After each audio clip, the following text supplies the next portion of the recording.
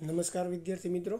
આજે આપણે આજ લેક્ચરમાં ચેપ્ટર નંબર એક જે છે, એના ઉદાહરણના દાખલાઓનું રિવિઝન કરવાના છીએ. અને સૌપ્રથમ આપણે ગણતરીવાળા જે દાખલાઓ છે એ ધ્યાનમાં લઈશું. તો શરૂઆત કરીએ આપણે ઉદાહરણ એક પોઈન્ટ બેથી જેમાં તમને કીધેલું છે કે એક પદાર્થમાંથી બીજા પદાર્થમાં દર સેકન્ડે દસની નવ ઘાત ઇલેક્ટ્રોન જતા હોય, તો બીજા પદાર્થ પર એક કુલમ વિદ્યુતભાર થવા માટે કેટલો સમય લાગશે?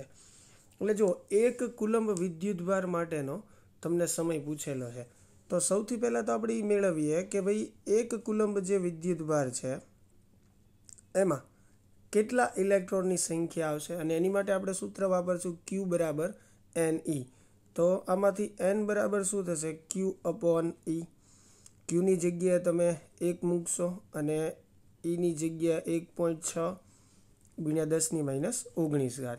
તો આનાથી તમને શું મળશે? એન મળશે. કે ભાઈ એક કુલમ વિદ્યુતભાર માટે ઇલેક્ટ્રોનની સંખ્યા જે છે એ કેટલી થશે? હવે જુઓ. આગળ તમને આપેલું જ છે રકમમાં કે દર સેકન્ડે દસની નવ ઘાત ઇલેક્ટ્રોન જે છે એ જતા હોય. તો એનો અર્થ એવો થયો કે ભાઈ દસની નવ ઘાત ઇલેક્ટ્રોન જે છે એને જવા માટે કે જમા થવા માટે એક સેકન્ડ લાગે છે. તો આપણી પાસે કેટલા ઇલેક્ટ્રોન છે? તો કે એન જેટલા ઇલેક્ટ્રોન છે. તો એન જેટલા ઇલેક્ટ્રોન માટે કેટલો સમય લાગશે? તો આ ત્રિરાશિ તમે પૂર્ણ કરો. એટલે ટી બરાબર તમને મળશે દસની નવ ઘાત એને ગુણ્યા એન તો એન તો તમે મેળવું જ હશે. અહીંયા એનની કિંમત તમે મૂકી દેશો. એટલે ફાઇનલી તમને ટીનો આન્સર જે છે એ શેમાં મળશે? સેકન્ડમાં ત્યારબાદ તમે એને વર્ષમાં ફેરવી શકો છો. તો આ રીતે આપણે ઉદાહરણ એક પોઈન્ટ બે જે છે એ ગણવાનું છે. ચાલો, આગળના ઉદાહરણની વાત કરીએ આપણે, એક પોઈન્ટ ત્રણની તો એક પોઈન્ટ ત્રણમાં તમને કીધું છે કે એક પ્યાલા પાણીમાં કેટલો ધન અને ઋણ વિદ્યુત ભાર હશે? અને અહીંયા એક પ્યાલા પાણીમાં બસો પચાસ ગ્રામ પાણી છે એવું તમારે ધારવાનું છે. હવે સમજો, અહીંયા ધન અને ઋણ વિદ્યુત ભાર જે છે, એ બંને અલગ પૂછ્યો છે. દાખલા તરીકે તમને એવું પૂછવું હોય કે એક પ્યાલા પાણીમાં કુલ વિદ્યુત ભાર કેટલો હોય? તો આપણને ખ્યાલ છે કે દરેક પરમાણુ જે છે, એ વિદ્યુતની દ્રષ્ટિએ કેવો છે? તટસ્થ. એટલે એનો કુલ વિદ્યુત ભાર જે છે, એ શું થશે? શૂન્ય થશે. પણ આમાં આપણને ધન અને ઋણ વિદ્યુત ભાર જે છે, એ અલગ પૂછ્યો છે. તો આપણે ધન વિદ્યુત ભાર માટે ગણતરી કરીએ. તો ઋણ વિદ્યુત ભારે એટલો જ આવશે. એટલે કોઈ પણ એક વિદ્યુત ભારની આપણે ગણતરી કરવાની છે. બરાબર? અને બાકીનો વિદ્યુત ભાર જે છે એ એટલો જ થવાનો છે, કેમ કે જેટલો એમાં ધન વિદ્યુત ભાર હશે, એટલો જ તેમાં શું હશે? ઋણ વિદ્યુત ભાર. તો સૌ પ્રથમ તો આપણે એ વિચારશું કે પાણી જે છે, એટલે કે એચ ટુઓના એક પરમાણુમાં રહેલો વિદ્યુત પાણીનો આપણે એક પરમાણુ લઈએ, તો એની અંદર કેટલો વિદ્યુત ભાર થશે? તો કે એચ ટુ છે. બરાબર? અને સૌ પ્રથમ આપણે ધન વિદ્યુત ભારની વાત કરીએ છીએ એવું સમજજો. અને મેં તમને કીધું એમ, જેટલો ધન વિદ્યુત ભાર હશે એમાં, એટલો જ એમાં ઋણ વિદ્યુત ભાર હશે. બરાબર? એટલે પહેલાં આપણે ધન વિદ્યુત ભારની ગણતરી કરીએ છીએ. તો એચ ટુમાં કેટલા પ્રોટોન થશે? બે. એટલે બે પ્રોટોનનો વિદ્યુત ભાર જે છે એ ટુ ઈ જેટલો થશે. બરાબર? એવી રીતે ઓ છે. તો ઓક્સિજનમાં કેટલા પ્રોટોન થશે? આઠ. એટલે એનો વિદ્યુત ભાર જે છે, એઇટ ઈ જેટલો થશે. એટલે ટોટલ વિદ્યુત ભાર જે છે, એ કેટલો થશે? ટેન ઈ જેટલો થશે. એટલે કે એચ ટુઓના એક પરમાણુમાં રહેલો ધન વિદ્યુત ભાર દસ ઈ જેટલો થશે. બરાબર? તો આ જે છે, એ તમને શું મળ્યું? એક પરમાણુનો વિદ્યુત ભાર મળ્યો. અને કયો વિદ્યુત ભાર મળ્યો? ધન વિદ્યુત ભાર. હવે આપણે બસો પચાસ ગ્રામ પાણી લીધું છે. બસો પચાસ ગ્રામ પાણીમાં તો ઘણા બધા પરમાણુ હોય. તો એની માટે આપણે પહેલાં તો પરમાણુની સંખ્યા મેળવવી પડશે. બરાબર? તો અઢીસો ગ્રામ પાણીમાં કેટલા પરમાણુ છે એ મેળવવા માટે આપણે પાણીનો જે અણુભાર છે, કેટલો થશે? અઢાર ગ્રામ પ્રતિ મોલ. તો એના પરથી કે એક મોલમાં સંખ્યા કેટલી હોય, એવો ગેડ્રો અંક જેટલી હોય. તો આપણે એવી રીતે ત્રિરાશિ મૂકશું. જો અહીંયા કે અઢાર ગ્રામ પ્રતિ મોલ છે. બરાબર? અને એક મોલમાં સંખ્યા જે છે એ કેટલી હોય? એવો ગેડ્રો અંક જેટલી. તો આપણે આવી રીતે ત્રિરાશિ મૂકી શકીએ કે ભાઈ અઢાર ગ્રામ એચ ટુઓ જે છે, એમાં અણુઓની સંખ્યા જે છે એ એન એ જેટલી, એટલે કે છ પોઈન્ટ ઝીરો બાવીસ ગુણ્યા દસની ત્રેવીસ ઘાત અથવા છ પોઈન્ટ ઝીરો ત્રેવીસ ગુણ્યા દસની ત્રેવીસ ઘાત. બરાબર? અથવા તમારે ટેક્સ્ટ બુકમાં છ પોઈન્ટ ઝીરો બે ગુણ્યા દસની ત્રેવીસ ઘાત લીધું છે. તો એ પ્રમાણે તમે લઈ શકો છો.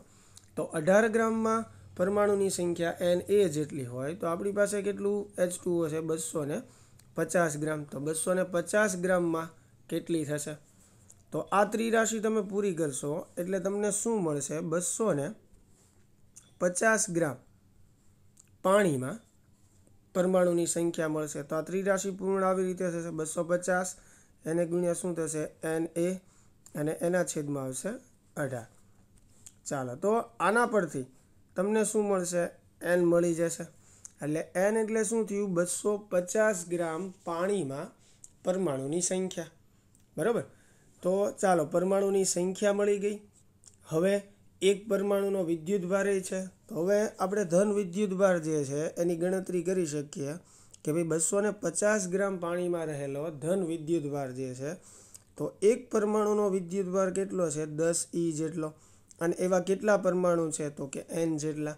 અહીંયા તમે એનની કિંમત મૂકી અને સાદુરૂપ આપી દેશો. એટલે તમને શું મળશે? બસો પચાસ ગ્રામ પાણીમાં રહેલો ધન વિદ્યુતભાર. તો હવે ઋણ વિદ્યુતભાર માટે ગણતરી કરવાની જરૂર નથી. તમે સિમ્પલ લખી શકો. બરાબર? કે જેટલો એમાં ધન વિદ્યુતભાર છે, એટલો જ ઋણ વિદ્યુતભાર હશે. બરાબર? ચાલો, તો આગળ વધીએ હવે.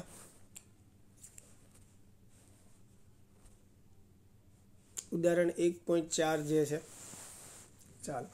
ઉદાહરણ એક પોઈન્ટ ચારમાં શું કીધું છે તમને? કે બે બિંદુવત વિદ્યુતવારો વચ્ચે સ્થિત વિદ્યુત બળ માટેનો કુલમનો નિયમ અને બે સ્થિર બિંદુવત દળો વચ્ચે ગુરુત્વ બળ માટેનો ન્યૂટનનો નિયમ. એ બંનેનો આધાર વિદ્યુતવારો અને દળો વચ્ચેના અંતરના વ્યસ્ત વર્ગ પર છે.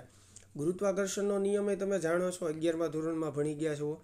અને કુલમનો નિયમ પણ તમે જાણો છો. તો સૌ પ્રથમ જો એમાં પ્રશ્ન પૂછ્યો છે કે ઇલેક્ટ્રોન અને પ્રોટોન, પછી બીજો પ્રશ્ન છે કે બે પ્રોટોન વચ્ચે લાગતા આ બળોના માનના ગુણોત્તર પરથી તેની પ્રબળતાની સરખામણી કરો. બરાબર? તો સૌ પ્રથમ આપણને શેની માટે ગણતરી કરવાનું કીધું છે? પહેલી ગણતરી જે છે આપણને ઇલેક્ટ્રોન અને પ્રોટોન માટે ગણતરી કરવાનું કીધેલું છે. તો સૌ પ્રથમ ગણતરી આપણે ઇલેક્ટ્રોન અને પ્રોટોન માટે કરશું. અને શું કરવાનું છે? તો કે ઇલેક્ટ્રોન પ્રોટોન વચ્ચે લાગતા વિદ્યુત બળ અને ગુરુત્વ બળની આપણે સરખામણી કરવાની છે. ચાલો, તો સૌથી પહેલાં પ્રશ્ન માટે આપણે વિદ્યુત બળ જે છે એફ ઈ કહીએ અને ગુરુત્વ બળ જે છે જેને એફ જી કહીએ. કોની માટે આપણે વાત કરીએ છીએ? ઇલેક્ટ્રોન અને પ્રોટોન માટે. તો ઇલેક્ટ્રોન અને પ્રોટોન વચ્ચે લાગતું વિદ્યુત બળનું સૂત્ર કે ક્યુ સ્ક્વેર છેદમાં આર સ્ક્વેર થશે. હવે બંને વચ્ચે લાગતા ગુરુત્વ બળનું સૂત્ર એટલે જી એમ ઈ એમ પી અપોન શું આવશે? આર સ્ક્વેર તો અહીંયા આર સ્ક્વેર આર સ્ક્વેર જે છે એ કેન્સલ થશે. એટલે F E upon F G શું મળશે તમને અહીંયા? તો કે ધ્યાનથી તમે અહીંયા જુઓ. આર સ્ક્વેર આર સ્ક્વેર જે છે એ કેન્સલ થશે.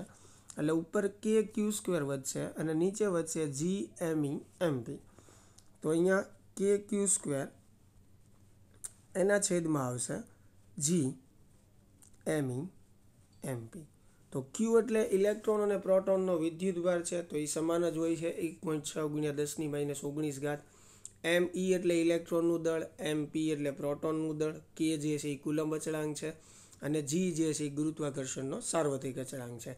તો આ દરેક અચળાંકની કિંમત તમે મૂકી દેશો, એટલે તમને બંને વચ્ચે લાગતો જે વિદ્યુત બળ અને ગુરુત્વ બળ જે છે, બરાબર, એના ગુણોત્તર જે છે એનો આન્સર મળી જશે.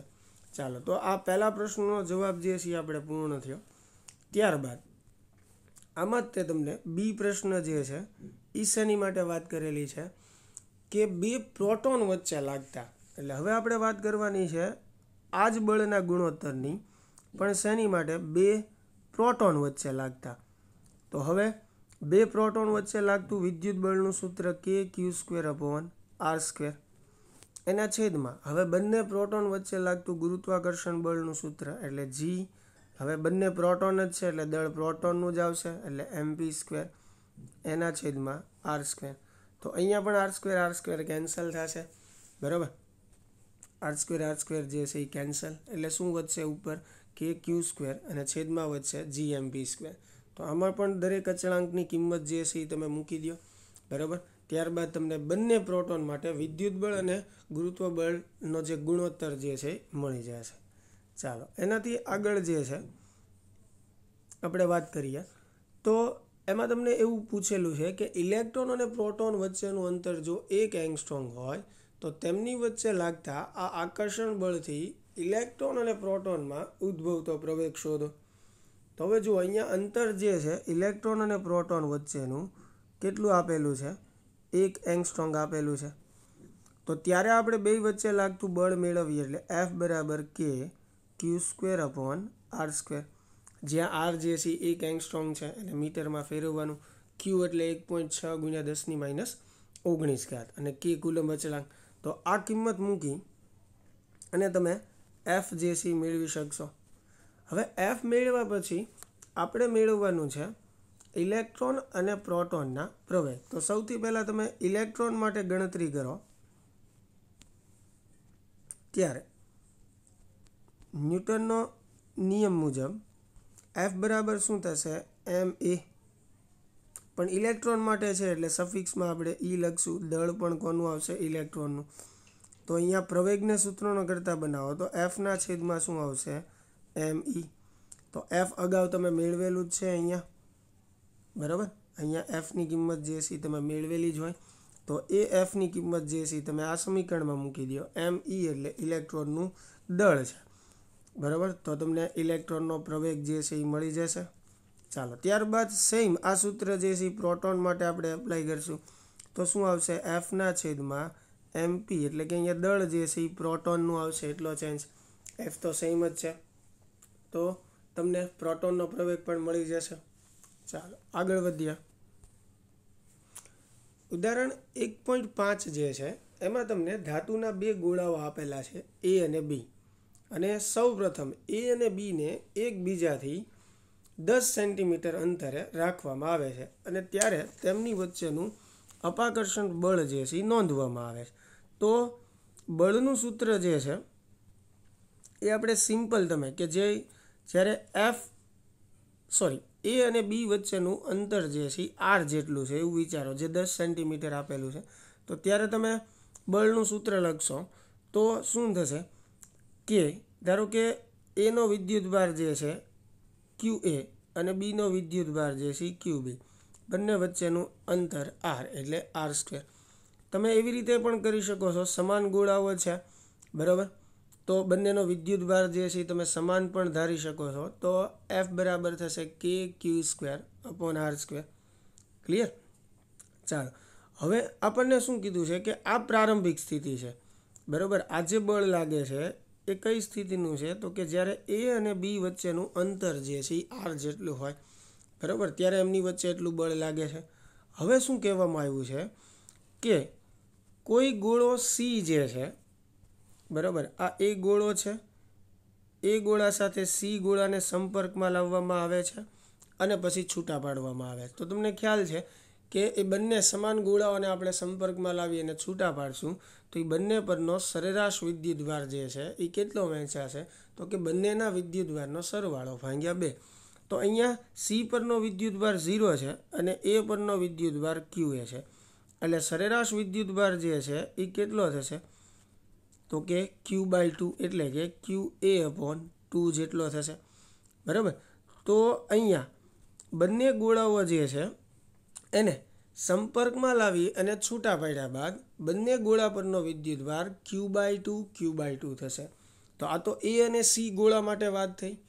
એવી જ રીતે બી ગોળા સાથે કોઈ ત્રીજો ગોળ સોરી કોઈ ચોથો ગોળો જે છે ડી એને સંપર્કમાં લાવવામાં આવે છે અને એ પણ વિદ્યુતભાર રહી છે. તો બી અને ડીને સંપર્કમાં લાવી અને જ્યારે આપણે એને અલગ કરશું, ત્યારે બી અને ડી પરનો વિદ્યુતભાર પણ Q by two Q by two થઈ જશે. બરાબર? તો હવે સી અને ડીને વારાફરતી એ અને બી સાથે સંપર્કમાં લાવી અને પછી છૂટા પાડીએ છીએ, તો એ અને બી ઉપરનો વિદ્યુતભાર જે છે એ કેવો થઈ જશે? તો કે Q by two Q by two બરાબર? એટલે હવે એ અને બી ઉપર બંનેનો વિદ્યુત ભાર જે છે Q by two Q by two જેટલો થઈ ગયો છે.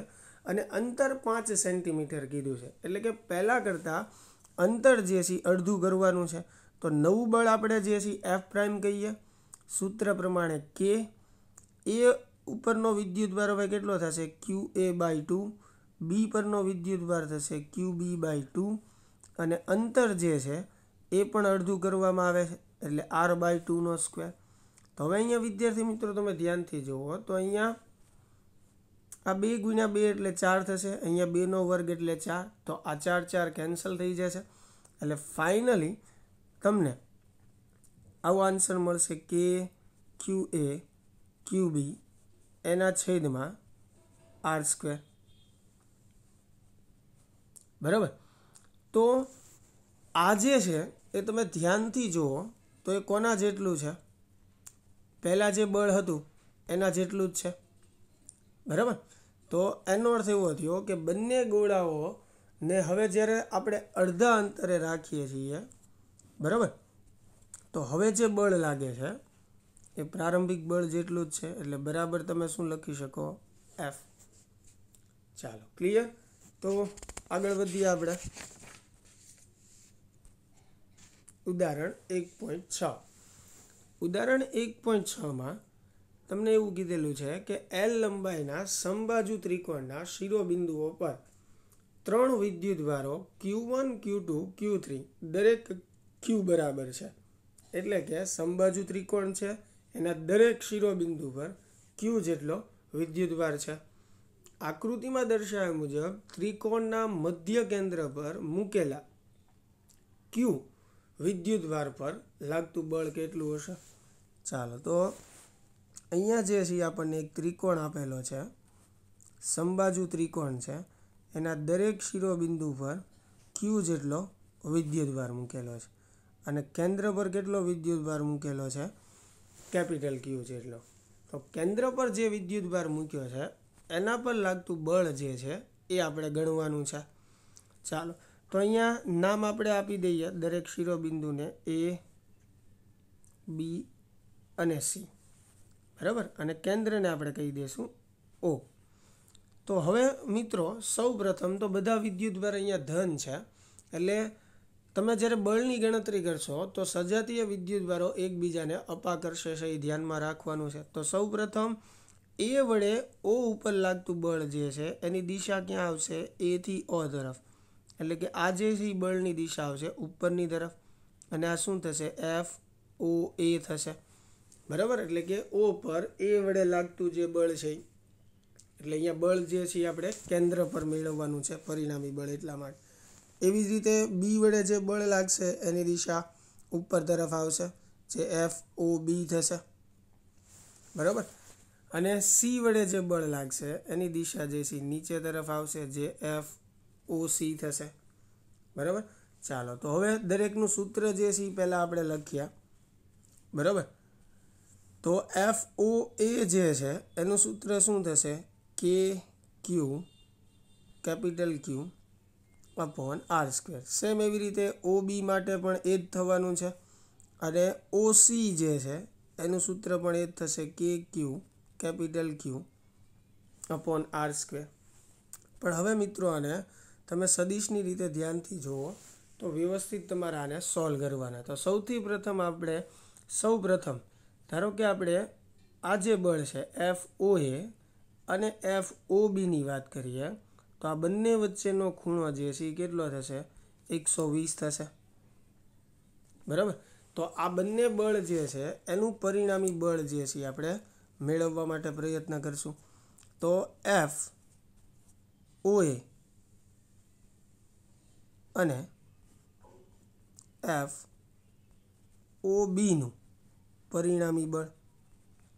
તો બે સદીશ વચ્ચે જ્યારે થીટા જેટલો કોણ હોય, તો એનું પરિણામી બળ મેળવવાનું સૂત્ર તમે જાણો જ છો. તો અહીંયા એ પરિણામી બળ જે છે, એને આપણે એફ પ્રાઇમ કહીએ. તો સૂત્ર પ્રમાણે શું થશે? F O A square plus F O B square plus two. F O A F O B cos એકસો વીસ અહીંયા આ આખું જે છે અંડર રૂટ જ આવશે વિદ્યાર્થી મિત્રો. ખાસ ધ્યાન રાખજો. આખું સળંગ સૂત્ર છે એફ પ્રાઇમ બરાબર under root F O A square plus F O B square plus two F O A O B cos એકસો વીસ તો અહીંયા ઓ એનું સૂત્ર તમારી પાસે છે ઓ બીનું છે કોસ એકસો વીસ એટલે માઇનસ થશે. સોરી માઇનસ વન હાફ થશે. બરાબર? તો આના પરથી તમે જે છે એફ પ્રાઇમ જે છે મેળવશો. બરાબર? એટલે એફ પ્રાઇમની કિંમત જે છે એ તમને મળશે એટલે કે સૂત્ર સ્વરૂપે મળશે કિંમત એટલે. હવે તમે અહીંયા ધ્યાનથી જુઓ, તો એ એફ પ્રાઇમ જે છે એ કઈ દિશામાં આવશે? ઉપર તરફની દિશામાં આવશે. અને એફ પ્રાઇમની વેલ્યુ તમને એફ ઓસી જેટલી જ મળશે, વ્યવસ્થિત તમે સાદું રૂપ આપશો તો. તો હવે જે છે આપણે, કોનું પરિણામી મેળવવાનું રહેશે? એફ પ્રાઇમ બરાબર? અને એફ ઓસીનું આ બે સદીશો છે. પણ જે પરસ્પર વિરોધી દિશામાં છે. એટલે એમનું પરિણામી જો આપણે મેળવવું હોય, જેને આપણે એફ કહીશું, બરાબર? તો પરિણામી એફ જે છે આપણને કઈ રીતે મળશે? તો કે એફ પ્રાઇમ. પરિણામી સદિશ જે છે એફ બરાબર શું થશે? તો કે F O C minus F prime અને મેં તમને વાત કરી કે અહીંયા તમને એફ ઓસી અને એફ પ્રાઇમ જે છે. એટલે કે એફ પ્રાઇમ એટલું જ મળશે કે જેટલું એફ ઓસી છે.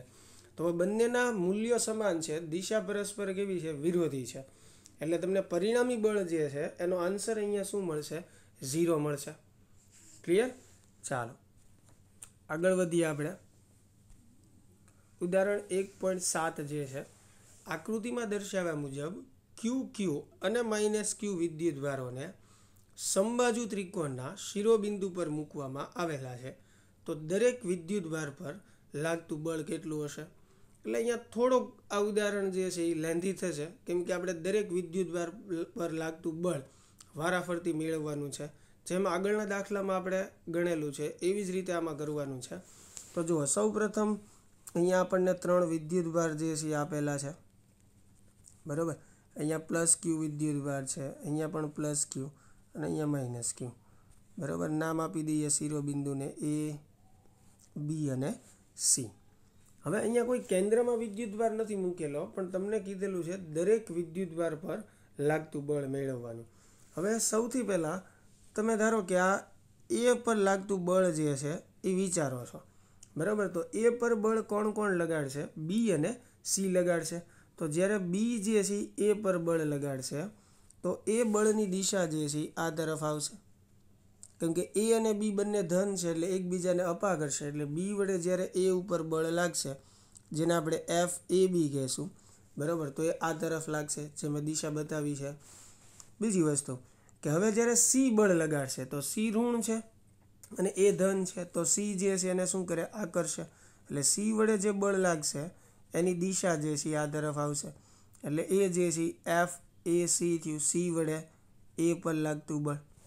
અને આ બંને બળ વચ્ચેનો ખૂણો જે છે એ કેટલો થશે? એકસો ને વીસ થશે. તો હવે પહેલાં તો તમે બંને માટે બળનું સૂત્ર જે છે એ લખી શકો. દાખલા તરીકે એફ એ બી જે છે, તો એફ એ બીનું સૂત્ર શું થશે? કે ક્યુ સ્ક્વેર. બરાબર? અને એ અને બી વચ્ચેનું અંતર થશે એલ. કેમ કે અહીંયા ત્રિકોણની બાજુની લંબાઈ કેટલી આપેલી છે આપણને? એલ. એટલે કે Q square upon L square થશે. સેમ એવી રીતે એફ એસી પણ એટલું જ થવાનું છે. બરાબર? તો બંને બળના સૂત્રો જે છે આપણે વ્યાખ્યાયિત કર્યા. બંને બળ વચ્ચે ખૂણો કેટલો છે? એકસો વીસનો. એટલે એનું પરિણામી બળ જે છે એ તમને આ જ સૂત્રથી મળશે કે પરિણામી બળ એફ બરાબર under root F A B square plus F A C square plus two F A B F A C cos એકસો વીસ બરાબર? આ આખું સમીકરણ અંડર રૂટમાં જ આવશે. તો એ બી એસીની કિંમત તમે મૂકી દો કોસ એકસો વીસ એટલે માઇનસ વન હાફ એટલે ફાઇનલી આન્સર જે છે તમને એફનો જે એ મળી જશે. પણ આ જે છે આપણે આમ ગણીએ તો એફ એ જે છે એ થયું. એટલે કે એ પર લાગતું પરિણામી બળ જે છે એની વાત કરી. બરાબર? એવી જ રીતે આપણે હવે બી જે છે એને ધ્યાનમાં લઈએ. બી પર લાગતું બળ જે છે. તો હવે બી પર જે છે એ કોણ બળ લગાડશે? એ અને સી બળ લગાડશે. તો જ્યારે એ વડે બળ લાગશે બી પર તો એ આ દિશામાં આવશે એટલે એફ બી એ થશે. બરાબર? હવે સી જે એ બળ લગાડશે, તો સી જે છે એને આકર્ષશે એટલે એની બળની દિશા ઉપર તરફ આવશે. બરાબર? એટલે એ છે એફ બી સી જે સી થશે. અને અહીંયા પણ બંને વચ્ચેનો ખૂણો જે છે એકસો વીસ થશે. ચાલો ક્લિયર તો એવી રીતે તમે એફ બીસી અને એફ બીએનું પરિણામી જે છે મેળવી શકો. એની વચ્ચે એકસો વીસનો ખૂણો. એટલે પહેલાં જેમ ગણ્યું એમ જ થશે. પણ જ્યારે તમે સી પર બળ મેળવતા હશો, ત્યારે થોડોક આન્સર જે છે અલગ આવશે. બરાબર? સી માટે ખાસ તમારે ધ્યાનમાં રાખવાનું છે. જ્યારે તમે સી પર રહેલા વિદ્યુતભારની વાત કરતા હોય, અહીંયા ઋણ વિદ્યુતભાર છે, અહીંયા જે છે એ ધન છે. તો હવે સી પર આપણે વાત કરીએ કે ભાઈ એ અને બી જ્યારે સી પર લગાડે બળ, એટલે કે સી પર લાગતું પરિણામી બળ, તો એ જ્યારે બળ લગાડશે, એ સીને આકર્ષશે એટલે એનું બળ જે છે નીચે તરફ આવશે એફ સી એવી રીતે બી પણ જે છે એને શું કરશે? આકર્ષશે એટલે આ દિશા જે છે એ એફ સી બીની થશે. તો અહીંયા ખૂણો જે છે, એ કેટલો આવશે? સાહીઠનો આવશે. બંને બળ વચ્ચેનો. એટલે અહીંયા તમારે એફ સીએ અને એફ સીબીનું પરિણામી બળ જે છે, એ આપણે જે અગાઉ સૂત્ર વાપર્યું, એ પ્રમાણે જ મેળવવાનું છે. પણ ખૂણો જે છે એ સાહીઠનો છે. એટલે કોસ એકસો વીસની બદલે કોસ સાહીઠ જે છે, એવી રીતે થશે. ક્લિયર તો આવી રીતે તમે વારાફરતી ત્રણેય શિરોબિંદુ પર જે વિદ્યુતભાર મૂકેલા છે એના પર લાગતું બળ જે છે એ મેળવી શકો છો. ચાલો, આગળ વધીએ આપણે. ઉદાહરણ એક પોઈન્ટ આઠ જે છે.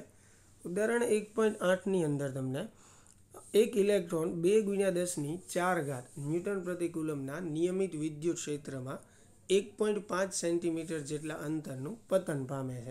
એટલે અહીંયા જે છે તમને વિદ્યુત ક્ષેત્ર આપેલું છે.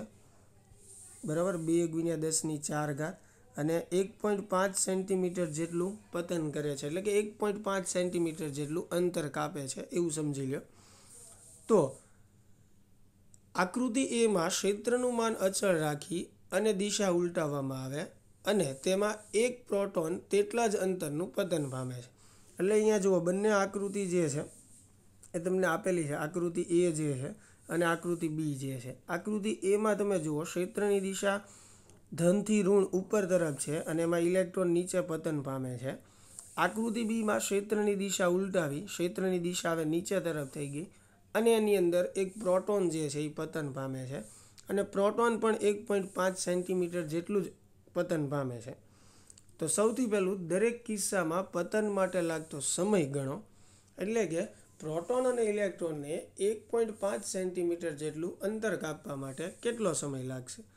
અને ગુરુત્વની અસર હેઠળ મુક્ત પતન સાથેનો તફાવત જણાવો.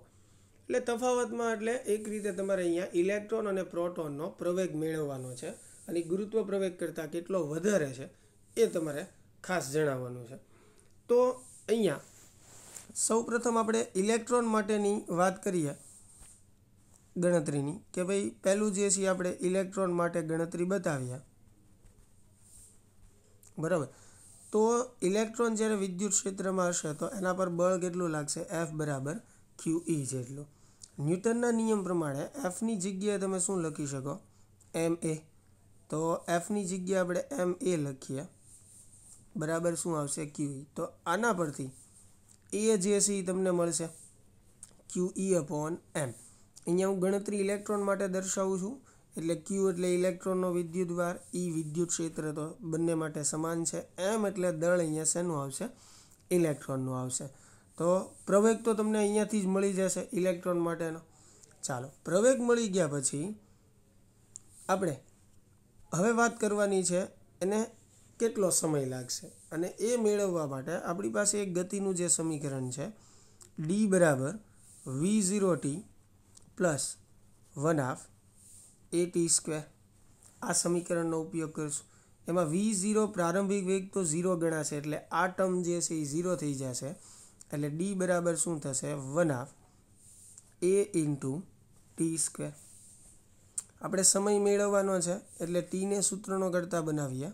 તો ટી સ્ક્વેર બરાબર શું થશે? ટુ ડી અપોન એ હવે ડી જે છે એ એક પોઈન્ટ પાંચ સેન્ટીમીટર છે, જેને ગણતરીમાં તમારે મીટરમાં ફેરવી નાખવાનું છે. બરાબર? એ જે છે એ પ્રવેગ છે. તો પ્રવેગ જે છે એ તમે અહીંયા મેળવેલો જ છે. આપણે અત્યારે વાત ઇલેક્ટ્રોનની કરીએ છીએ, બરાબર? એટલે ઇલેક્ટ્રોનનો પ્રવેગ જે છે એ તમે મૂકશો. તો અહીંયા પ્રવેગ મૂકી દો અંતર મૂકી દો એટલે તમને ટી સ્ક્વેર બરાબર એક આન્સર મળશે. પછી ટી જ્યારે તમારે જોતું હોય તો વર્ગમૂળ લઈ લો પણ વર્ગમૂળ લેતી વખતે ખાસ ધ્યાન રાખવાનું, દસની ઘાત આવતી હોય સમીકરણમાં, તો એ યુગ્મ હોવી જોઈએ. એટલે કોઈ આન્સરમાં ભૂલ ન પડે. તો સેમ સ્ટેપ તમારે પ્રોટોન માટે જે છે એ રિપીટ કરવાના છે. બરાબર? સૌ પ્રથમ જે છે, તમે આ જ રીતે પ્રોટોન જે છે એનો પ્રવેગ ગણશો એટલે ક્યુ ઈ અપોન એમ પી આવશે. અહીંયા દળ જે છે એ શેનું આવશે? પ્રોટોન માટે જ્યારે ગણતરી કરો ત્યારે પ્રોટોનનું આવશે. એટલે તમને પ્રોટોનનો પ્રવેગ જે છે એ મળશે. ત્યારબાદ ફરીને પાછું અહીંયા સેમ આ સમીકરણ ટી સ્ક્વેર બરાબર ટુ ડી અપોન એ જે છે પણ અહીંયા હવે પ્રવેગ જે છે તમે જે પ્રોટોન માટે મેળવ્યો હશે એ આવશે. એટલે એના પરથી તમને જે સમય મળશે એ પ્રોટોનને મુક્ત પતન થવા માટેનો સમય મળશે. તો એક જ સ્ટેપ છે બંને માટે વારાફરતી તમારે રિપીટ કરી અને ગણતરી કરવાની છે. ચાલો, આગળ વધીએ. ઉદાહરણ એક પોઈન્ટ નવ જે છે. ઉદાહરણ એક પોઈન્ટ નવમાં તમને દસની માઇનસ આઠ ઘાત કુલમ અને દસ માઇનસ દસની માઇનસ આઠ ઘાત કુલમ મૂલ્યના બે બિંદુવત વિદ્યુતભારો અનુક્રમે ક્યુ વન અને ક્યુ ટુ એકબીજાથી ઝીરો પોઈન્ટ એક મીટર અંતરે મૂકેલા છે. તો આકૃતિમાં દર્શાવેલા એ, બી અને સી બિંદુએ વિદ્યુત ક્ષેત્રની ગણતરી કરવાનું કીધું છે. તો સ્ટેપ બાય સ્ટેપ આપણે આની ચર્ચા કરીએ. સૌ પ્રથમ આપણે એ બિંદુ માટે, પહેલી ગણતરી જે છે એ એ બિંદુ માટે આપણે બતાવીશું. હવે અહીંયા જે છે એ બે વિદ્યુતભારો છે, બરાબર? અને આ ક્યુ વન વિદ્યુતભાર છે, અહીંયા ક્યુ ટુ વિદ્યુતભાર છે. બંને વચ્ચેનું અંતર પણ તમને આપેલું છે, ઝીરો પોઈન્ટ એક મીટર છે. તો સૌ પ્રથમ એ બિંદુ જે છે એ બરાબર ક્યાં છે? એની મધ્યમાં છે. તમે આકૃતિમાં જોઈ શકો છો અહીંયા એ બિંદુ જે છે એ બરાબર ક્યાં છે? મધ્યમાં. અને બેથી અંતર જે છે એ ઝીરો પોઈન્ટ પાંચ, ઝીરો પોઈન્ટ ઝીરો પાંચ. તો એ જે છે એ સોરી ક્યુ વન જે છે એ પ્લસ વિદ્યુતભાર છે ક્યુ ટુ જે છે એ માઇનસ વિદ્યુતભાર છે. એના લીધે આપણે એ બિંદુ પાસે પરિણામી ક્ષેત્ર જે છે એ મેળવવાનું છે. તો સૌ પ્રથમ તો આપણે ક્ષેત્રની દિશા બતાવવી પડે. તો આ ધન વિદ્યુતભારમાંથી ક્ષેત્ર બહારની તરફ હશે, એટલે એની દિશા આ તરફ આવશે. આ ઋણ વિદ્યુતભાર છે, એટલે એમાં ક્ષેત્રની દિશા અંદર તરફ. તો હવે જો અહીંયા એ બિંદુ પાસે ઈ વન અને ઈ ટુ જે છે, એક જ દિશામાં છે. એટલે આપણે એ બિંદુ પાસે પરિણામી જો ક્ષેત્ર મેળવવું હોય, જેને આપણે ઈ એ કહીએ, તો અહીંયા શું કરવું પડે? E one plus E two તો હવે ઈ વન એટલે શું થયું? ક્યુ વનના લીધે એ પાસે ક્ષેત્ર તો એનું સૂત્ર થશે કે ક્યુ વન છેદમાં આર સ્ક્વેર તો ક્યુ વનથી એનું અંતર જે છે કેટલું છે? ઝીરો પોઈન્ટ ઝીરો પાંચ એટલે એનો વર્ગ આવશે. બરાબર? સેમ એવી રીતે થશે કે ક્યુ ટુ એના છેદમાં ઝીરો પોઈન્ટ ઝીરો પાંચનો વર્ગ. તો અહીંયા જે છે એ તમે કિંમત મૂકી દેશો, એટલે તમને એ બિંદુ પાસે વિદ્યુત ક્ષેત્ર જે છે એ મળી જશે. ચાલો, એનાથી આગળ જે છે આ બનામાં આપણને બી બિંદુ પાસે ગણતરી જે છે એ પૂછેલી છે. તો ફરીને પાછું આ બંને વિદ્યુત દ્વારા આપણા ક્યુ વન અને ક્યુ ટુ, બરાબર? હવે બી બિંદુ આકૃતિમાં તમે જોઈ શકો છો કે બી બિંદુ જે છે આપણને અહીંયા આપેલું છે. અને એનું અંતર જે છે એ પણ તમને દર્શાવેલું જ છે અહીંયા આકૃતિમાં. બરાબર? તો બી બિંદુ પાસે આપણે વિદ્યુત ક્ષેત્ર મેળવવું છે. આ પ્લસ છે, આ ક્યુ જે છે એ માઇનસ. તો ધનમાંથી ક્ષેત્ર જે છે એ બહારની તરફ આવશે. એટલે ઈ વન જે છે એની દિશા બહારની તરફ આવશે. ઋણમાં અંદર તરફ એટલે ઈ ટુની દિશા જે છે આવી રીતે આવશે. ચાલો. તો અહીંયા જે છે બી બિંદુ પાસે તમે જુઓ બરાબર? બી બિંદુ પાસે પરિણામી ક્ષેત્ર આપણે મેળવવું હોય, તો બંને ક્ષેત્ર પરસ્પર વિરોધી દિશામાં છે, એટલે બંનેની શું થશે? બાદબાકી થશે. તો ઈ બી જે છે, ઈ વન ઈ વન એટલે શું થશે? ક્યુ વનના લીધે બી પાસે ક્ષેત્ર. તો એની માટે સૂત્ર શું થશે? કે ક્યુ વન. અને ક્યુ વનથી બીનું અંતર. જે તમે આકૃતિમાં જોઈ શકો છો કે ઝીરો પોઈન્ટ ઝીરો પાંચ આપેલું છે એટલે ઝીરો પોઈન્ટ ઝીરો પાંચનો વર્ગ વત્તા ઈ ટુ એટલે ક્યુ ટુના લીધે બી પાસે ક્ષેત્ર. પણ હવે જુઓ ક્યુ ટુનું જે અંતર જે છે, બરાબર એ બીથી કેટલું થશે? ટોટલ અંતર તમે જે છે, અહીંયા જોઈ શકો છો, આ અંતર. બરાબર? ક્યુ ટુથી બી સુધીનું જે ટોટલ અંતર છે પોઈન્ટ પંદર થશે. બરાબર? એટલે અહીંયા અંતર જે છે એ કેટલું આવશે? ઝીરો પોઈન્ટ પંદર આવશે. અને એનો વર્ગ. તો આમાં કિંમત મૂકી અને સાદુરૂપ આપી દેશો. એટલે તમને બી પાસે પરિણામી ક્ષેત્ર જે છે એ મળી જશે. ચાલો, પછી એમાં ત્રીજી વસ્તુ જે છે, આપણે સી પાસે વિદ્યુત ક્ષેત્ર જે છે એ મેળવવાનું ત્રીજો પ્રશ્ન જે છે. બરાબર? તો ફરીને પાછું આ ક્યુ વન વિદ્યુત ભાર છે, આ ક્યુ ટુ વિદ્યુતભાર. અહીંયા આપણને સી બિંદુ આપેલું છે. ક્યુ વન પ્લસ છે, ક્યુ ટુ જે છે એ માઇનસ છે. તો આમાંથી ક્ષેત્ર જે છે એ બહારની તરફ આવશે, ધન વિદ્યુતભાર છે બરાબર? અને ક્યુ ટુ જે છે, એમાં ક્ષેત્ર જે છે એ ક્યાં આવશે? અંદરની તરફ આવશે. એટલે કે ક્યુ ટુના ક્ષેત્રની દિશા, ઋણ વિદ્યુતભાર છે એટલે. તો અહીંયા આ બંને વચ્ચેનો જે ખૂણો જે છે એ કેટલો થશે? એક તો તમારે એ મેળવવાનો રહેશે. બરાબર? હવે અહીંયા તમે ધ્યાનથી જુઓ તો આ સમબાજુ ત્રિકોણ છે, એટલે અંદરનો ખૂણો સાહીઠનો થશે, એટલે આ બહારનો ખૂણો જે છે એ કેટલો થશે? એકસો વીસનો. બરાબર? તો હવે અહીંયા ઈ વન અને ઈ ટુ જે છે એ બંને વચ્ચેનો ખૂણો જે છે એ કેટલો છે? એકસો વીસ છે. તો હવે બે સદીશ વચ્ચે જ્યારે થીટા જેટલો કોણ હોય અને તમારે એનું પરિણામી માન મેળવવું હોય તો અહીંયા સી બિંદુ પાસે પરિણામી વિદ્યુત ક્ષેત્ર મેળવવા માટે આપણે આ સૂત્ર વાપરવું પડશે. E one square plus E two square plus two E one E two cos એકસો વીસ ક્લિયર તો ઈ વન અને ઈ ટુ ઈ વન એટલે ક્યુ વનના લીધે સી પાસે વિદ્યુત ક્ષેત્ર ઈ ટુ એટલે ક્યુ ટુના લીધે સી પાસે વિદ્યુત ક્ષેત્ર. એની કિંમત જે છે આ સમીકરણમાં તમે મૂકી દો એટલે તમને સી પાસે વિદ્યુત ક્ષેત્ર જે છે એ મળી જશે. ચાલો, તો આજે સી વાત આપણે કરી ઉદાહરણ એક પોઈન્ટ નવની આગળ વધીએ. ઉદાહરણ એક પોઈન્ટ દસ. ઉદાહરણ એક પોઈન્ટ દસની અંદર બે બિંદુવત વિદ્યુત ભારો આપેલા છે પ્લસ ઓર માઇનસ દસ માઇક્રોકુલમ એટલે કે એક રીતે ડાયપોલ આપેલી છે તમને. જેના વચ્ચેનું અંતર જે સી પાંચ એમએમ છે. એટલે અહીંયા બે ડાયપોલમાં બે વિદ્યુત ભારો વચ્ચેનું અંતર એટલે આપણે ટુ એ કહીએ છીએ. અને ટુ એ જે છે એ તમને પાંચ મિલીમીટર આપેલું છે. તો એ જે છે અહીંયા કેટલું થશે? બે પોઈન્ટ પાંચ એમએમ થશે. તો આકૃતિ એમાં દર્શાવ્યા મુજબ ડાયપોલની અક્ષ પરના તેના કેન્દ્રથી પંદર સેન્ટીમીટર દૂર આવેલા પી બિંદુએ. અને આકૃતિ બીમાં દર્શાવ્યા મુજબ ઓમાંથી પસાર થતી અને અક્ષને લંબ રેખા ઓથી પંદર સેન્ટીમીટર દૂર આવેલા ક્યુ બિંદુએ વિદ્યુત ક્ષેત્ર મેળવો. તો બહુ સરળ છે વિદ્યાર્થી મિત્રો આ. તમે અહીંયા પહેલી આકૃતિમાં જોઈ શકો છો કે પી બિંદુ જે છે એ ડાયપોલની અક્ષ પરનું બિંદુ છે. અને ડાયપોલની અક્ષ પરના બિંદુ માટે આપણે જો વિદ્યુત ક્ષેત્ર મેળવવું હોય, બરાબર, પ્રથમ કિસ્સો જે છે એ ડાયપોલની અક્ષ ઉપર વિદ્યુત ક્ષેત્ર મેળવવાનો છે. તો ડાયપોલની અક્ષ પર વિદ્યુત ક્ષેત્ર મેળવવાનું સૂત્ર છે two K P R upon R square minus A square એનો સ્ક્વેર. હવે અહીંયા તમે ધ્યાનથી જુઓ, આર એટલે શું છે? ડાયપોલના કેન્દ્રથી પી બિંદુનું અંતર, જે આપણને પંદર સેન્ટીમીટર આપેલું છે. જ્યારે એ જે છે બે પોઈન્ટ પાંચ છે. એટલે આપણે અહીંયા એવું કહી શકીએ કે R very very greater than A છે.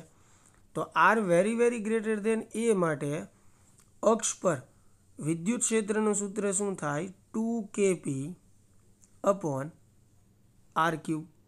તો હવે આર તમને આપેલું છે પંદર સેન્ટીમીટર. કે આપણને ખ્યાલ હોય? હવે પી એટલે ડાયપોલ મોમેન્ટ થશે. તો ધારો કે ડાયપોલ મોમેન્ટ તો આપણને આપી નથી, પણ આપણે મેળવી જ શકીએ. પી બરાબર તમે શું કરી શકો? Two A Q. Two A આપેલું જ છે પાંચ એમએમ. ક્યુ એટલે વિદ્યુત ભાર આપેલો છે દસ માઇક્રોકુલમ. તો અહીંયાથી તમે પી મેળવી શકો. પી મળી જાય. સૌ પ્રથમ તમારે આ સ્ટેપ કરવાનું છે. પહેલાં પી મેળવી લેજો. ત્યારબાદ એની કિંમત જે છે ઈના સમીકરણમાં મૂકી દો તમે. એટલે ઈ બરાબર two K P upon R cube ઉપરથી પી બિંદુએ તમને વિદ્યુત ક્ષેત્ર મળી જશે. હવે એવી જ રીતે જે ક્યુ બિંદુ તમને આપેલું છે બીજા કિસ્સામાં, બરાબર, એ ક્યાં છે? વિષુવૃત્ત પર છે. અને વિષુવૃત્ત માટે વિદ્યુત ક્ષેત્રનું સૂત્ર જે છે એ K P upon R square plus A square raise to three by two થશે. બરાબર? પણ આમાં પણ અહીંયા છે તો R very very greater than A જ તે. તો દૂરના બિંદુ માટે વિદ્યુત ક્ષેત્રનું સૂત્ર જે છે વિષુવૃત્ત માટે શું થશે? K P, sorry, K P upon R cube ચાલો, તો આ સૂત્રમાં કેપી અને આરની કિંમત મૂકી દો એટલે તમને વિદ્યુત ક્ષેત્ર જે છે એ વિષુવૃત્ત પર મળી જશે. ચાલો આગળ વધીએ. એક પોઈન્ટ અગિયાર જે છે ઉદાહરણ, એની અંદર જુઓ, આકૃતિમાં વિદ્યુત ક્ષેત્રના ઘટકો E X alpha X raise to one half એવી રીતે આપેલું છે. વાય અને ઝેડ દિશામાં વિદ્યુત ક્ષેત્ર જે છે એ ઝીરો છે. તો સૌથી પહેલું તમને પૂછ્યું છે કે ઘનમાંથી પસાર થતું ફ્લક્સ કેટલું થશે. હવે અહીંયા વિદ્યાર્થી મિત્રો આ વસ્તુ ખાસ ધ્યાન રાખજો કે આ ઉપરનો જે ઘનની બાજુ છે, આપણે જો ઘનનું ફ્લક્સ જોતું હોય, તો સમઘનની દરેક બાજુમાંથી પસાર થતું ફ્લક્સ મેળવવું પડે. પણ અહીંયા જુઓ, વિદ્યુત ક્ષેત્ર જે છે એ એક્સ દિશામાં છે. તો વિદ્યુત ફ્લક્સ તમે ભણ્યા જ છો કે જો કોઈ બાજુમાંથી સમાંતર પસાર થતી હોય ક્ષેત્ર રેખા, તો એ ફ્લક્સની ગણતરીમાં આવતું નથી. એટલે કે એમાંથી પસાર થતું ફ્લક્સ જે છે એ કેવું થશે? શૂન્ય થશે. તો અહીંયા જુઓ, જે આ ડાર્ક ભાગ વડે બતાવ્યો છે, એને જ વિદ્યુત ક્ષેત્ર લંબ છે. વિદ્યુત ફ્લક્સ આપણે કોને કહીએ છીએ? કોઈ સમતલને લંબ પસાર થતી ક્ષેત્ર રેખાઓની સંખ્યા હોય, તો એ ફ્લક્સની ગણતરીમાં આવે. તો અહીંયા ક્ષેત્ર કોને લંબ થશે? તો કે આ જે બે ડાર્ક સાઈડ છે, એને જ લંબ થશે. બાકીના સમઘનની તમે કોઈ પણ બાજુ વિચારશો, એને ક્ષેત્ર સમાંતર થશે. એટલે બાકીની જે ચાર બાજુ વધે છે, આની સિવાયની એ દરેકમાંથી પસાર થતું ફ્લક્સ જે છે એ કેવું થશે? ઝીરો. તો તમારે ફક્ત શેની માટે ફ્લક્સ મેળવવાનું રહેશે? તો કે આ જે મેં ડાર્ક સાઈડ બતાવી છે, એમાંથી પસાર થતું ફ્લક્સ મેળવવાનું રહેશે. તો સૌપ્રથમ જે છે, આપણે આ જે છે, ધારો કે આને બાજુ એક કહીએ. બરાબર? એમાંથી પસાર થતું ફ્લક્સ જે છે, એ મેળવવું છે. આ બાજુ એક જે છે, હું બતાવું છું. અહીંયા વિદ્યુત ક્ષેત્ર જે છે આ તરફ છે. બરાબર? અને એનો ક્ષેત્રફળ સદીશ જે છે આ તરફ છે. સોરી ક્ષેત્રફળ સદીશ એ. તો અહીંયા ઈ અને એ જે છે એ જુઓ, પરસ્પર વિરોધી દિશામાં થશે. એટલે આ પ્રથમ બાજુમાંથી પસાર થતું ફ્લક્સ આપણે ફાઈ વન કહીએ. અને જો મેળવવું હોય તો શું થશે? ઈ એ કોસ પાઈ એટલે કે એકસો એંસી. કેમ કે અહીંયા ઈ અને એ જે છે, બરાબર? પરસ્પર વિરોધી દિશામાં છે. ચાલો, પછી ઈનું સૂત્ર જે છે એ તમને આપેલું જ છે. બરાબર? ઈ જે છે એ કેટલું આપેલું છે? Alpha X raise to one half જ્યાં આલ્ફા જે છે એ તમને આઠસો આપેલું છે, એટલે આઠસો X raise to one half એ જે છે એ ક્ષેત્રફળ, તો આ જે ચોરસ બાજુ જે છે, સમઘનની, બરાબર? એનું ક્ષેત્રફળ જે છે એ કેટલું થશે? એ સ્ક્વેર થશે. અને કોસ પાય એટલે શું આવશે? Minus one. ચાલો, તો ફાઈવ વન જે છે અહીંયા આઠસો એક્સ જે છે, એક્સ એટલે શું થશે? ઉગમ બિંદુથી આ જે બાજુ છે, એનું અંતર. તો એ કેટલું આપેલું છે આપણને? એ. તો એક્સની જગ્યાએ તમે શું મૂકી એકસો એ. બરાબર? અહીંયા એની વનાવઘાત. અને આ જે માઇનસ નિશાની છે, એ આગળ આવતી રહેશે. બરાબર? તો એ જે છે, એ કેટલું તમને માપ આપેલું છે? ઝીરો પોઈન્ટ એક આપેલું છે. તો અહીંયા એની કિંમત હવે તમે મૂકી દો અને સાદુરૂપ આપી દો. એટલે તમને જે છે ફાઈવ વનની કિંમત જે છે એ મળી જશે. બરાબર? એ જે છે કેટલું લેવાનું છે? ઝીરો પોઈન્ટ એક મીટર લેવાનું છે. તો આ જે છે એ તમને શું મળ્યું? તો કે પ્રથમ જે બાજુ છે, એમાંથી પસાર થતું ફ્લક્સ જે છે એ મળ્યું. હવે એવી જ રીતે આ બીજી બાજુ જે છે, એમાંથી પસાર થતું ફ્લક્સ પણ આપણે મેળવવાનું બાકી છે. બરાબર? તો હવે ફેર ક્યાં પડશે વિદ્યાર્થી મિત્રો આ ગણતરીમાં? અહીંયા ખાસ ધ્યાન રાખજો. કે આ જે બાજુ છે બીજી, બરાબર, એનું અંતર જે છે જો ઉગમ બિંદુથી એનું અંતર ટોટલ કેટલું આવશે? ટુ એ આવશે. બરાબર, એટલે આપણે એક્સની જગ્યાએ ટુ એ મૂકશું. અને બીજી વાત જે છે, આ બાજુ માટે ઈ અને એ જે છે એક જ દિશામાં થશે. આપણે બીજી બાજુ માટે વાત કરીએ છીએ, તો વિદ્યુત ક્ષેત્ર તો આ દિશામાં જ છે, પણ એનો ક્ષેત્રફળ સદિશ પણ આ દિશામાં થશે. એટલે એનું ફ્લક્સ જે છે ફાઈ ટુ જે છે બરાબર? એ કેટલું થશે? ઈ એ કોસ એકસો વીસ થશે. બરાબર? તો હવે આમાં કિંમત આપણે મૂકીએ તો ફાઈ ટુ બરાબર. ઈ જે છે આઠસો X raise to one half એની જગ્યાએ એ સ્ક્વેર. સોરી વિદ્યાર્થી મિત્રો, અહીંયા ભૂલથી મારે કોસ એકસો વીસ જે છે લખાઈ ગયું. બરાબર? અહીંયા ધ્યાન રાખજો. કોસ ઝીરો આવશે. આ ભૂલ છે મારી. અહીંયા શું આવશે? કોસ ઝીરો બરાબર? આપણને ખ્યાલ છે અહીંયા ઈ અને એ જે છે સમાન દિશામાં છે ને, એટલે બંને વચ્ચેનો ખૂણો ઝીરો ગણાશે, એટલે કોસ ઝીરો એમ આવશે. બરાબર? થોડુંક ઝડપથી લખવામાં ભૂલ થઈ ગઈ, એટલે ખાસ ધ્યાને લેજો. તો હવે અહીંયા જે છે કોસ ઝીરોની કિંમત જે છે એ કેટલી થશે? વન એટલે એના સ્થાને આપણે વન મૂકી દઈએ. તો ફાઈ ટુ બરાબર. આ જે છે આઠસો એક્સ જે છે એ મેં તમને અગાઉ કીધું એમ ટુ એ આવશે રેસ ટુ વન હાફ અહીંયા એ જે છે એઝ ઇટ ઇઝ ફરીને પાછું એની જગ્યાએ તમે ઝીરો પોઈન્ટ એક મીટર જે છે એ મૂકી અને સાદુરૂપ આપી અને ફાઈ ટુ જે છે એ મેળવી શકો છો. તો આમાંથી તમને ફાઈ ટુ જે છે એનો આન્સર પણ મળી જશે. ચાલો. તો અહીંયા આપણો દાખલો જે છે એ પૂરો નથી થતો મિત્રો. આપણે મેળવવાનું છે સમઘનનું કુલ ફ્લક્સ તો સમઘનનું કુલ ફ્લક્સ મેળવવું હોય તો દરેક બાજુમાંથી પસાર થતા ફ્લક્સનો આપણે શું લેવો પડે? સરવાળો. હવે ચાર બાજુનું ફ્લક્સ તો ઝીરો છે. આપણે બે બાજુનું જ મેળવવાનું હતું. એ બંને બાજુનું મેળવું અને એનો સરવાળો કરો એટલે તમને કુલ ફ્લક્સ જે છે એ મળી જશે. બરાબર? ચાલો. પછી તમને બીજો પ્રશ્ન એવો પૂછ્યો છે કે ઘરની અંદરના વિદ્યુતભારની ગણતરી કરો. તો હવે ઘરની અંદરનો જો વિદ્યુતભાર તમારે ગણવો હોય તો તમારી પાસે ફ્લક્સનું સૂત્ર છે ફાઈ બરાબર શું થશે? Q upon epsilon zero. બરાબર? તો આમાંથી ક્યુને સૂત્રનો કરતા બનાવો તમે. તો ક્યુ બરાબર શું થશે? Phi into epsilon zero. તો આમાં ફાઈની કિંમત મૂકી દો એપ્સિલોન ઝીરો શૂન્ય અવકાશની પરમિટિવિટી છે. તો આના પરથી તમને ક્યુ જે છે એ પણ મળી જશે. ક્લિયર ચાલો. તો વિદ્યાર્થી મિત્રો, દસ અગિયાર ઉદાહરણ સુધી આપણે કર્યું છે. બારમું ઉદાહરણ જે છે એ સેમ આના જેવું જ છે. એટલે કે આપણે જે આ રીત કરી એને રિલેટેડ જ છે. પણ એમાં એક નળાકાર તમને આપેલો છે. અને એમાં પણ તમારે નળાકારની બાજુમાંથી પસાર થતું ફ્લક્સ છે. બરાબર? વક્ર બાજુમાંથી કુલ ફ્લક્સ છે. અને વિદ્યુતવારની ગણતરી કરવાની છે. એટલે એ જાતે જે છે એ તમે પ્રયત્ન કરજો. નહીંતર હું નેક્સ્ટ લેક્ચરમાં તમને કરાવવાનો જ છું. અને એક ઉદાહરણ એક પોઈન્ટ તેર જે છે, એ પણ આપણે નેક્સ્ટ લેક્ચરમાં એની ચર્ચા કરશું. આ લેક્ચરમાં અહીંયા સુધી રાખીએ છીએ. તો આશા છે કે વ્યવસ્થિત તમને રિવિઝન જે છે એ સમજાણું હશે. મળીએ હવે નેક્સ્ટ લેક્ચરમાં થેન્ક યુ